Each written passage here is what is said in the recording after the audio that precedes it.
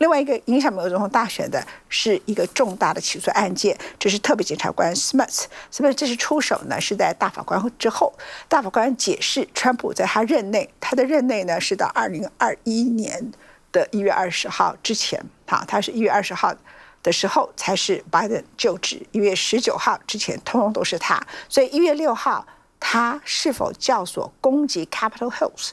他是享有总统的职权，所以就有总统的豁免权。这是美国最高法院大法官原来做出来的解释。当时的解释是六比三，完全是党派形成的一个意见。也就是说，它并不是一个令人服气的判决。但无论如何，他在宪法里头就享有至高无上的法律解释权。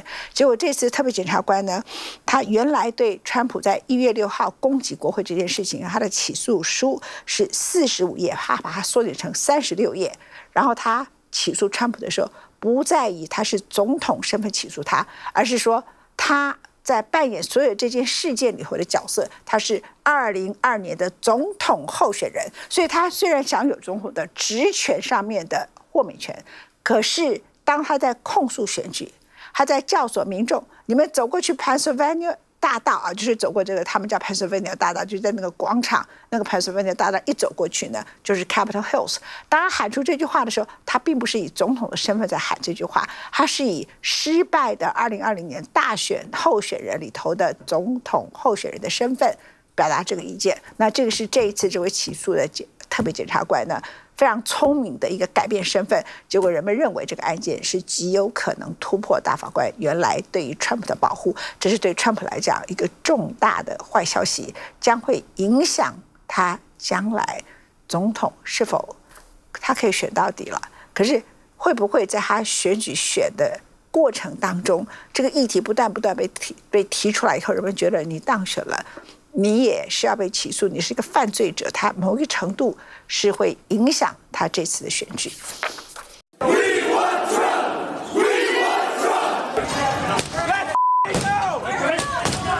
二零二一年一月六号，美国民主最黑暗的一天。The only way we're going to lose this election is if the election is rigged. Remember that. 美国众院委员会在隔年年底公布调查报告。认定前总统川普必须面对煽动致命暴乱的刑事指控，但美国最高法院在七月初做出有利川普的历史性裁决，判定总统在公务行为上享有广泛的刑事豁免权。对川普提起诉讼的特别检察官史密斯，于是也有新动作，试图重新启动川普意图推翻大选结果的司法程序。Special Counsel Jack Smith has filed a new indictment against Donald Trump in connection with his federal election interference case. 在最高法院做出令各界瞠目结舌的裁决后，史密斯只有两个选择。He could have let the judge in this case, Tanya Chutkin, go through the indictment and rule on each individual part of it and decide what could stay in and what could come out. But he chose to actually make a bid himself by filing a new pared down indictment, a 36 page indictment that still reflects the larger case that he filed originally. 新版起诉书从四十五页缩减成三十六页，但仍指控川普犯下四项独立的罪嫌，包括透过谎言和虚伪指控诈欺美国、阴谋阻挠官方程序，并剥夺美国人的投票权。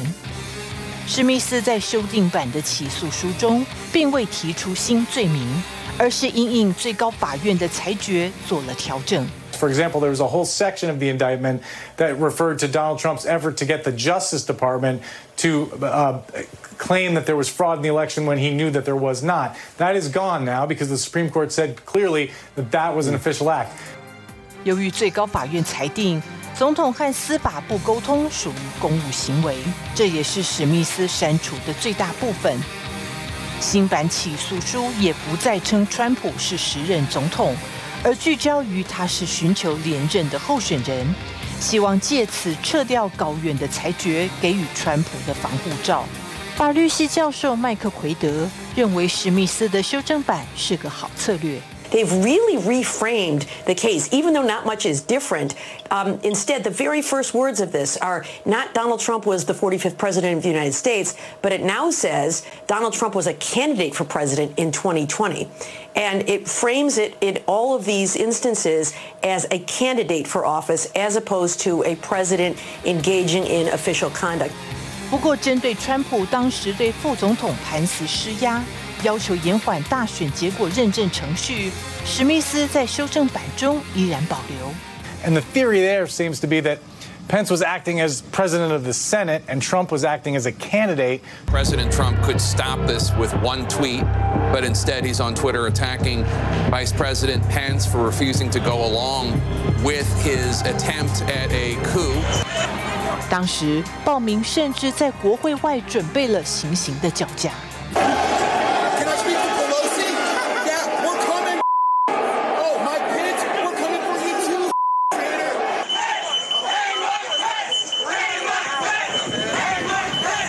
麦克奎德教授指出，他可以理解为何史密斯把潘斯的部分保留。